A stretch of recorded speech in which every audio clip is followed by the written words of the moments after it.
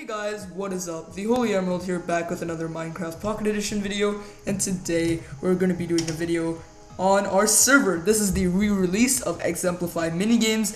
As you guys know, there was some recent downtime and we were fixing out, we were out fixing a lot of stuff. Um, we've actually improved the server by a lot, to be honest, like, no lie.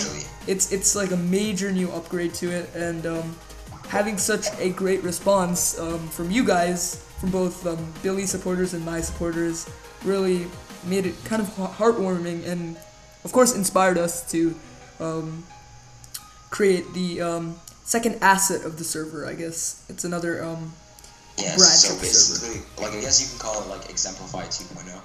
Exactly, yeah, it's it's sort of something like that. And of course, um, I think I forgot to introduce to you. Um, this is Crush PE, and I'm also here with Pizza Hut. So he's our developer. Crush PE is a YouTuber, of course. Um, most of you guys who are subscribed should know about him. Whoever is subscribed to me, Yeah. I hope so. so um, yeah, guys. So uh, I don't It's- know. yeah. uh, people who don't know about the server, we have like a lot of different things on it. It's right now whitelisted. That's why it's only us three.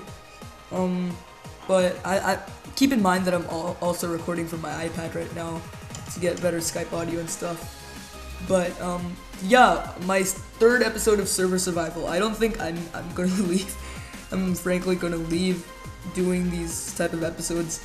Last server it worked out really well.